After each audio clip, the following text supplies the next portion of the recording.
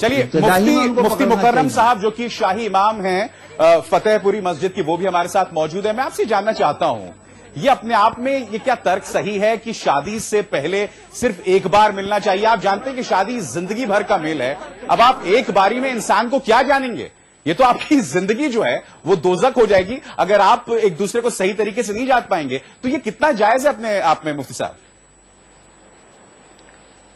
देखिए, ये शरीयत का मामला है और शरीयत का मामला नकल पर है। यानी जो कुरान और हदीस में लिखा है, जो शरीयत में लिखा है, उसे एज इट इज़ मानना, इसमें अकल को दखल नहीं है। इंसान की अकल तो कुछ फैसला करती है, लेकिन इंसान की अकल धोखा भी खा जाती है।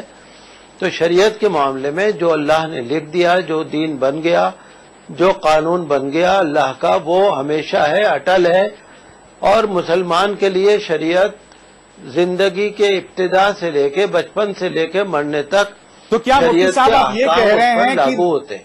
तो क्या आप ये कह रहे हैं कि नईम अशरफी साहब इसका गलत एनालिसिस कर रहे हैं इस फतवे फतवे के ज़रिए? नहीं नहीं मैं ये नहीं कह रहा कोई गलत इसका वो कर रहा है लेकिन मैं ये कह रहा हूँ कि कोई कि अगर ये कहता है कि पर्सनल मामला पर्सनल कहीं नहीं होते मामलात। शरीयत के मामले में आलिम को या किसी नेक आदमी को बोलने का हक है। अमर बिल मारूफ और नहीं अनिल मुनकर कुरान शरीफ का हुक्म है। इसी वजह से मुसलमानों को खैर उम्मत कहा गया है। तो ये कहना कि बात बात पे फतवा देने से उसकी अहमियत खत्म होती है ऐसा नहीं है। आरिफ अगर आरिफ कोई सवाल साहब इसका पूछेगा तो संक्षिप्त उसका में जवाब आपसे चाहूँगा। इस बात का संक्षिप्त में आपसे जवाब चाहूँगा जो कि मुफ्ती मुकर्रम साहब बोल रहे हैं। संक्षिप्त में।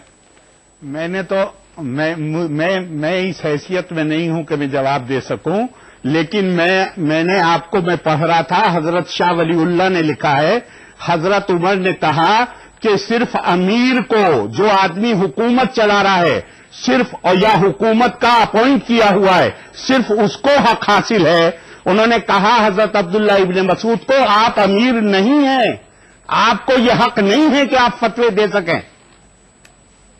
इस्लाम तकवे का दीन है, फतवे का दीन नहीं है इस्लाम।